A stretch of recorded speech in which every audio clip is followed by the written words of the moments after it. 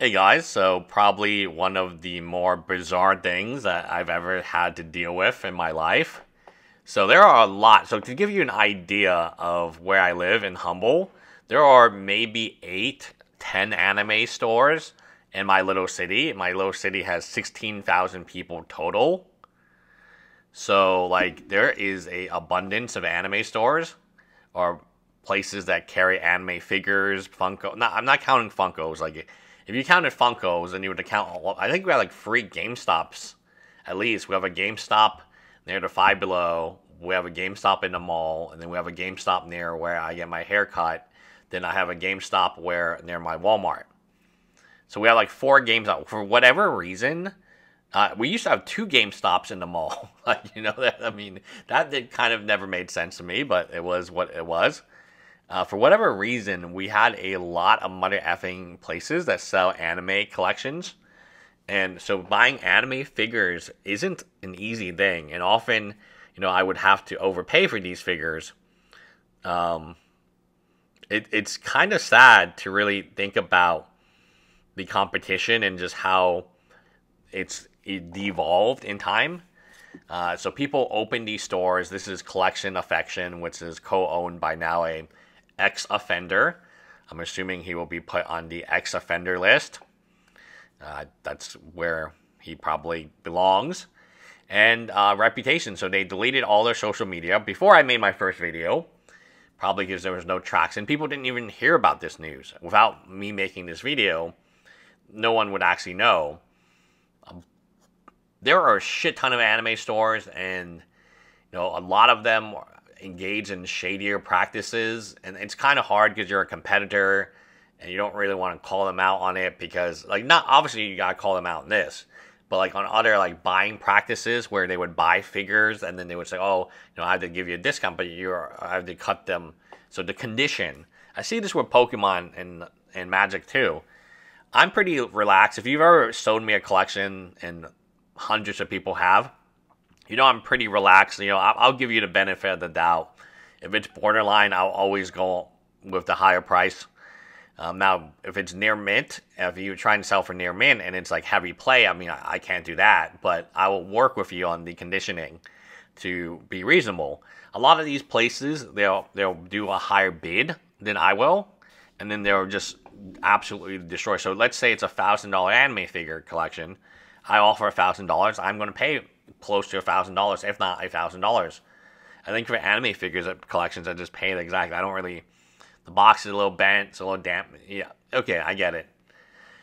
Um, for this store in particular, they would have you come in, and then they would reduce it and say, "Oh, there's so much damage that was undisclosed," and saying so. Like I've had people who wanted to sell me a collection, they got a higher price from them. They went to this location, and then they were the eventual price was lower because they said that there was too much damage to the collection. But then they kind of force you. So the attitude of this guy is that he can force you to do things that you may not want to do. That is seems to be the strategy. And the other strategy is they start deleting stuff. It's just like alpha investment with MetaZoo. You don't like it? Well, pretend it doesn't exist, right? uh, Graham Stephan strategy as well. That's kind of like the YouTuber influencer strategy. This was a pretty big store back in the day. It had a physical location, I think in 2021. I believe they went online only, but the guy still is a co owner of the online operation.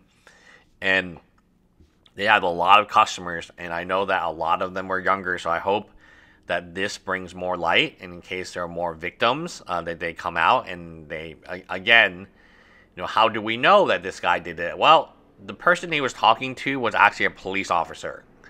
So the person he believed was a minor probably told him multiple times, "Hey, I'm a minor. I'm a." This is kind of like to catch a predator, right? Chris Hansen, except with the police, not Chris Hansen.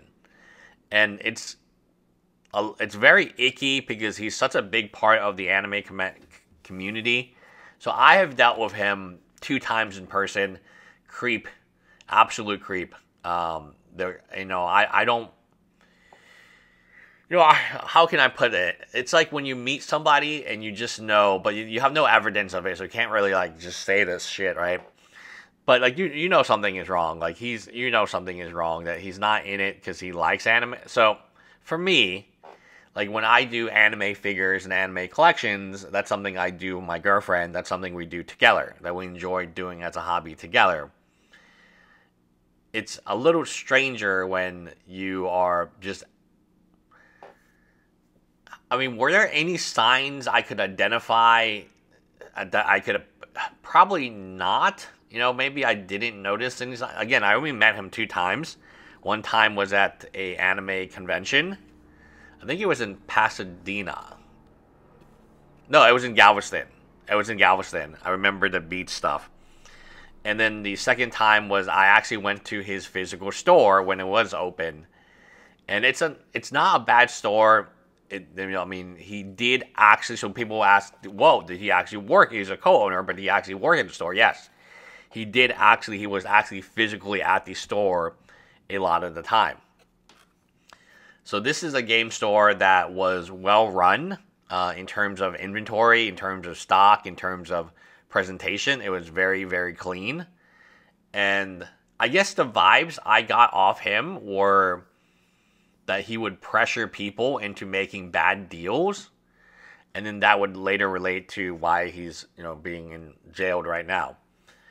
It's a hard topic but i remember when wizard of the coast had a problem with this exact issue and multiple of their judges were found. In fact one of them was so, so blatantly a criminal that wizard of the coast came out with a statement talking about it and Jeremy Hambly from the Quartering was the leader. I mean, he had found and investigated a lot of this stuff. Uh, Wizard Coast was shady as hell back then. You know, it was it's a lot better today, in my opinion.